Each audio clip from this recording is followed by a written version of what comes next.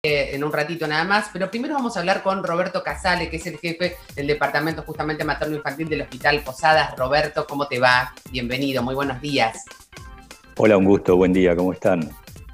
Un placer charlar con vos desde ese icónico lugar del Hospital Posadas, referente en la medicina y por supuesto en los hospitales públicos de todo el país, que nosotros siempre eh, queremos tanto, tanto porque es eh, un valiosísimo trabajo que ustedes realizan día a día. Hoy te contactamos para hablar sobre un estudio muy reciente que se ha hecho vinculado a las embarazadas y al COVID, que justamente demuestra que hay una cuestión de mayor riesgo en algunos casos cuando las mujeres embarazadas eh, contraen esta enfermedad. ¿Qué, tipo de, eh, prueba ustedes han tenido? ¿Qué tipo de experiencias, sobre todo, que es lo que en definitiva avala las, las cuestiones que, se hacen en los estudios, han tenido en este tiempo, en este año y pico de pandemia ahí en el hospital? Bueno, nosotros eh, en primer lugar fuimos convocados para una investigación a través del grupo de la, Universidad de Oxford, del profesor José Villar, que es un referente mundial en investigaciones, y queríamos contestar la pregunta específicamente si las embarazadas tienen más riesgo de la exposición y a la enfermedad y qué enfermedad desarrollaban por COVID. Y para eso reclutamos, esto se reclutó en todo el mundo, en 43 instituciones de varias partes del mundo, eh, en el cual se comparó una mujer, digamos, embarazada que tenía COVID, con las dos que seguían en la entrada a la maternidad sin COVID. Y una vez finalizado el estudio, el estudio se hizo entre marzo y octubre del 2020, eh, los resultados están publicados en la revista JAMA hace muy poquitas semanas.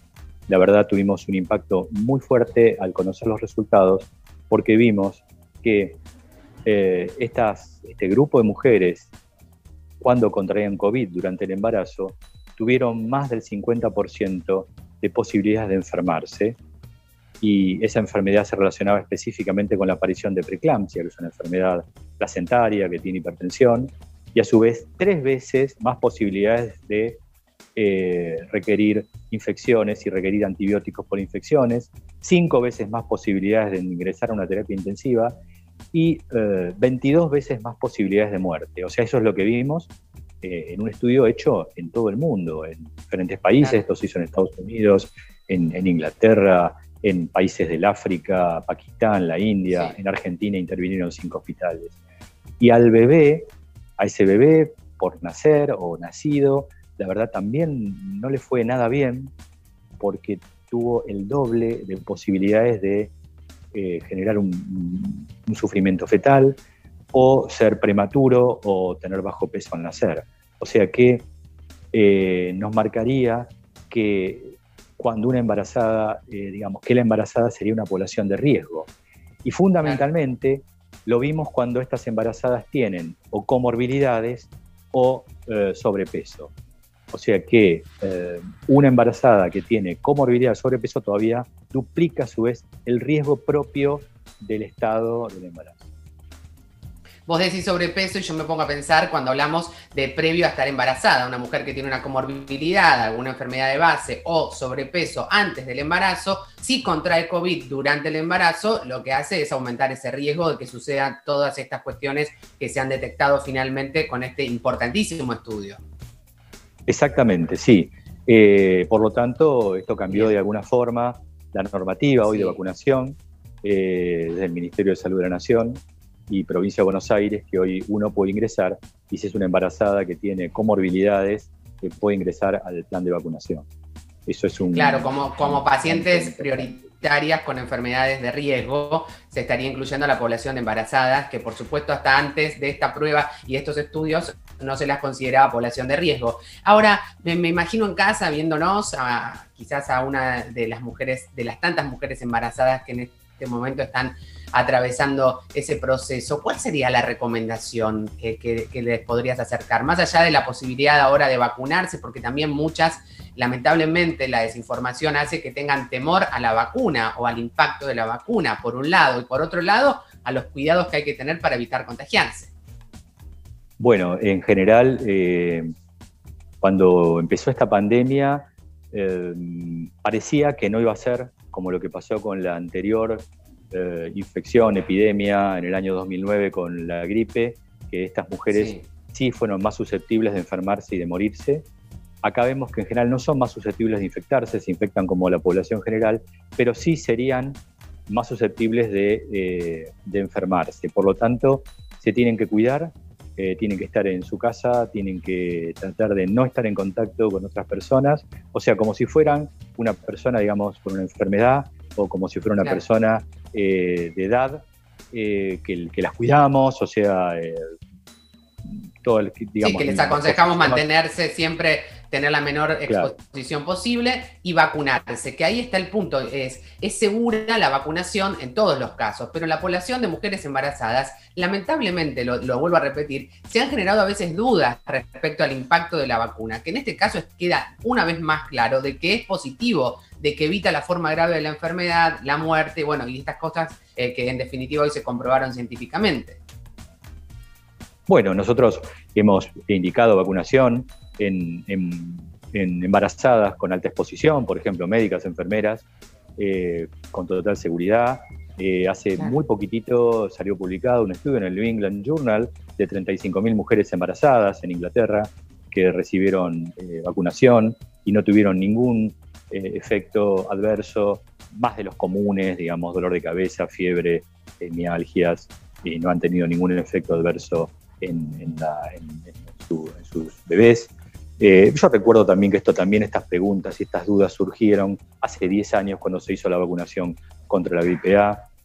Tenemos, digamos, una gran suerte, tenemos una, gran ventaja cualitativa hoy que tenemos a cargo de esto a, la doctora Carla Bisotti, la ministra de Salud, que realmente es una persona líder en vacunación, eh, que ya encabezó hace 10 años la vacunación contra la gripe A y hoy vamos a ver el éxito de esta mayor campaña de vacunación en la Argentina. Es la más grande campaña en Argentina de vacunación y, estamos viendo ya sus resultados de éxito al respecto.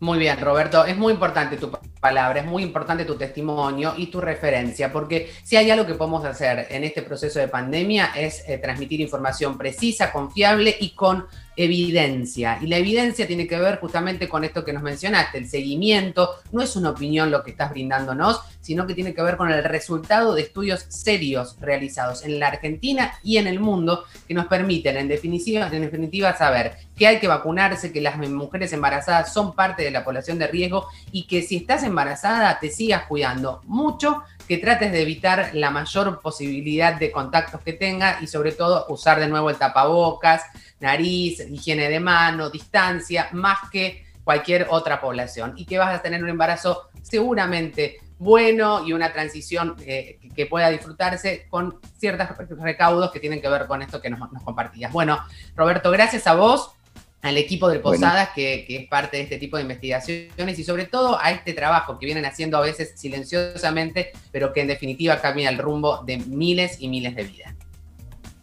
Bueno, muchas gracias por la, por la oportunidad de dar esta información y bueno, que tengan un buen día. Muy bien. Estábamos entonces en contacto con Roberto Casales desde el Hospital Posadas hablando de las embarazadas y el COVID, de algo que por supuesto nos preocupa a todos, a las que están embarazadas y a los que nos ocupamos de la salud, porque justamente tiene que ver con eh, dar vida, con también preservar la vida de las mamás eh, y no hay que tener temor. Recuerden siempre la consulta oportuna, el seguimiento con sus obstetras y siempre tomar esas decisiones que las dejen bien tranquilas. Pero si sos, además de embarazada, cualquiera de nosotros que tenemos que seguir teniendo muy en cuenta cuáles son esas recomendaciones, te invito a que compartamos este consejo. En la actualidad, circulan variantes del virus causante de COVID-19 más transmisibles y posiblemente más letales. Para frenar el aumento de casos, debemos reducir al máximo la circulación de personas. Por eso, hasta el 21 de mayo, se tomaron diferentes medidas colectivas, transitorias, intensivas y focalizadas geográficamente de acuerdo a la situación epidemiológica de cada lugar. Para todo el país, se suspenden los viajes grupales turísticos de fin de curso y de estudio, las reuniones sociales de más de 10 personas la asistencia al trabajo para personas de riesgo. Además, en cada jurisdicción se dispusieron medidas adicionales de acuerdo a su riesgo epidemiológico y sanitario, bajo, medio, alto y de alarma. El objetivo es detener la velocidad de los contagios y permitir que el sistema de salud pueda atender a quienes lo necesiten. El compromiso es individual y colectivo. Cuidarte es cuidarnos. Argentina Unida. Es importante, siempre te decimos cuidarnos, es importante seguir haciéndolo, además de acordarnos de usar el barbijo de manera correcta, lo digo muchas veces porque es importante, lavarnos frecuentemente las manos, también mantener la distancia social y sobre todo ventilar, ventilación cruzada en los ambientes es algo que nos va a ayudar pero muchísimo. Si vas en el auto, recordá bajar una ventanilla de un lado y una ventanilla del otro, si vas con acompañante. En casa, a la mañana, a la tarde, en todos los momentos que pueda, dejar una endijita, aunque haga un poco de frío, nos abrigamos y seguramente así vamos a poder evitar cualquier tipo de complejización de esta situación que ya de por sí es, yo ya sé, complicada, tediosa, nos cansa. Bueno, a todos nos pasa lo mismo. Sentite acompañada o acompañado. Vamos a repasar algo importante que tiene que ver con la vacunación. Estés donde estés, nosotros siempre tratamos de acercarte esta fuente absolutamente confiable que tiene que ver con los turnos. En este caso, en Corrientes ingresas a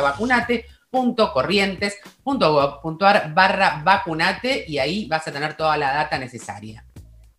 Si vivís en Tucumán, ingresás a tucumán.gov.ar barra coronavirus y también vas a tener el turnero, la manera de saber dónde te toca y demás. En La Pampa es vacunate.lapampa.gov.ar, también toda la data sobre el plan de vacunación COVID en nuestro país. Y vamos cerrando ya este programa. Esperamos que hayan podido aprovecharlo con información, como siempre les decimos, que les va a ayudar a tomar las mejores decisiones. Como cada día cierro este espacio diciéndoles que lo individual suma, pero es lo colectivo lo que definitivamente transforma. Así que esa oportunidad no tenemos que perderla. Mañana nos encontramos puntualmente a las 9 aquí en la pantalla de la televisión pública argentina. Chao.